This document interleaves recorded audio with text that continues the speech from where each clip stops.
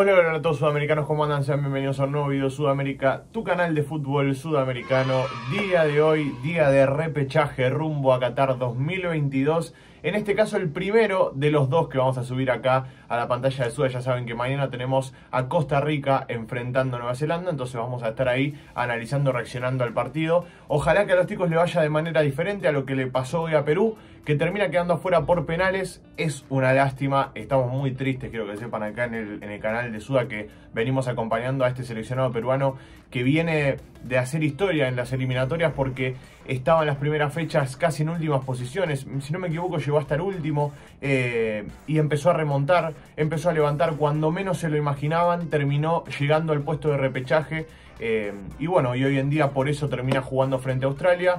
No se le dieron las cosas en cuanto al partido, ya vamos a estar analizando, pero bueno, para los que quieran estar informados con las últimas noticias de su selección, ya saben, se descargan OneFootball. Acá en el primer comentario fijado lo van a tener para estar informados con noticias al instante. También posibles fichajes que haya en este periodo que vamos a tener mucho movimiento de mercado. Ya saben, bueno, eh, veremos a dónde, por ejemplo, Darwin Núñez, que llegó a Liverpool hace poco. Bueno, se hubieran enterado si tenían OneFootball y miraban el apartado de fichajes. Un ejemplo que les doy así del instante, del momento.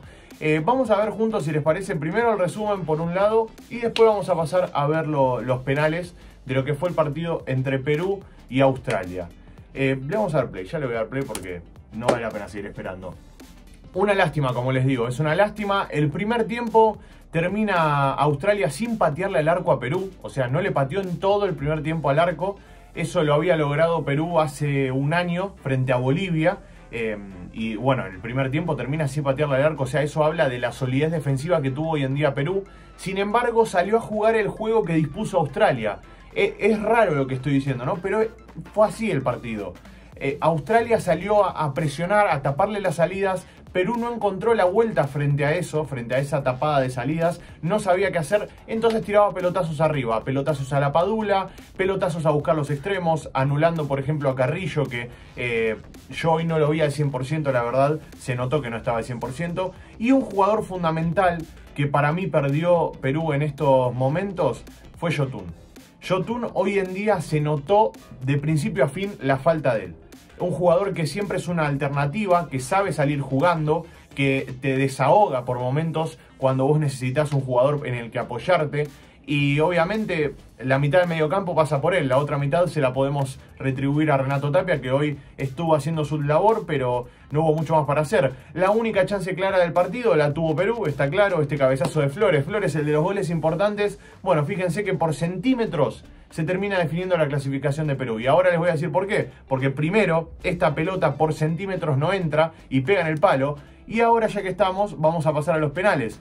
Pero como les decía, por centímetros no termina entrando esa pelota de Flores y por centímetros no termina entrando un penal de, Perú también, que podría haberle dado la clasificación. Es increíble. Ahora, previo a los penales, teníamos la estadística de que Perú en las últimas dos tandas de penales las había ganado. Estamos hablando, si no me equivoco, fue contra eh, Paraguay creo que fue. Y si no me equivoco, la otra fue entre, frente a Uruguay. Bueno, si me estoy equivocando me lo dejan en los comentarios, pero las últimas dos creo que fue 2019-2021, Paraguay y Uruguay, si no me equivoco, había sido. Eh, como les dije, si me equivoco me lo dejan en los comentarios, pero las últimas dos las había ganado. ¿Y qué otro detalle más teníamos? El último equipo sudamericano, la última selección sudamericana que había llegado a los penales, fue Uruguay frente a Australia en un repechaje, frente a Australia también, y terminó perdiendo está bien que obviamente son datos y al fin y al cabo en este tipo de partidos no importa mucho el dato porque se puede romper, la estadística se puede romper.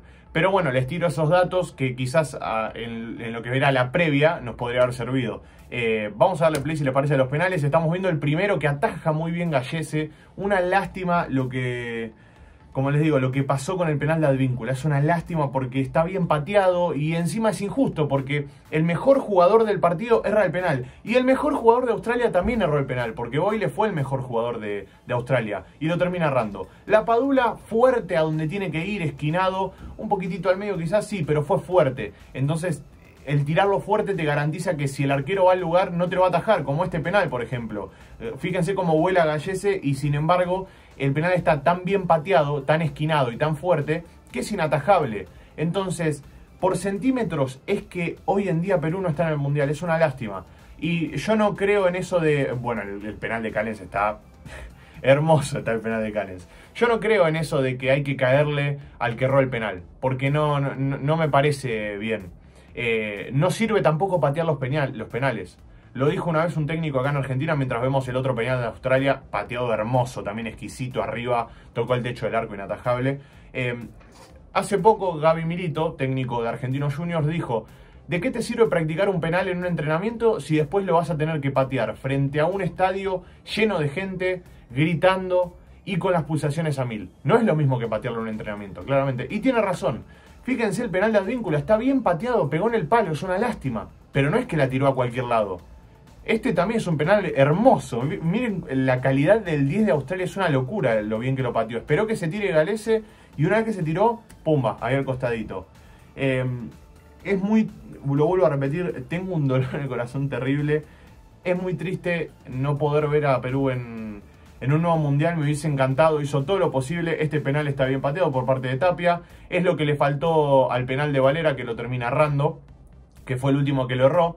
Em, le faltó potencia, le faltó fuerza y obviamente un poco de dirección más a la punta, más esquinado, hubiese estado mejor, pero si esa, esa manera de esquinarlo no te funciona, puedes tirar un misil y tranquilamente eso también lo puede hacer eh, que metas el gol. El penal de Flores está bien pateado también, eh, no, no hay mucho para agregar. Obviamente si lo, si lo erra, si lo erraba, perdón, Flores, eh, eh, hoy estaríamos hablando de que está mal pateado, está claro, porque no fue esquinado. Sin embargo, termina siendo gol, espera que el arquero se tire, define muy bien.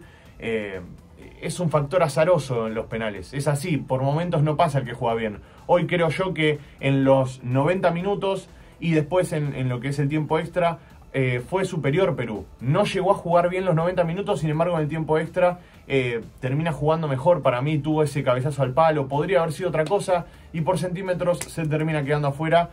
Bien por el técnico de Australia que puso a eh, Raymond, es el arquero de, que puso, que empezó a bailar y le salió, Redmine, ahí está. Le salió bien la jugada, sacó al arquero, si no le hubiese salido hoy en día lo, lo estábamos gastando de principio a fin. Pero es una lástima, ¿qué se le va a hacer? Eh, así es el fútbol. Lo importante, ¿saben qué es de todo esto? Que el fútbol siempre da revancha. El fútbol siempre da revancha y quizás no sea ahora y sea dentro de cuatro años, pero va a tener revancha Perú, no tengan dudas de eso, va a tener revancha, eh, va a poder clasificarse a otro mundial.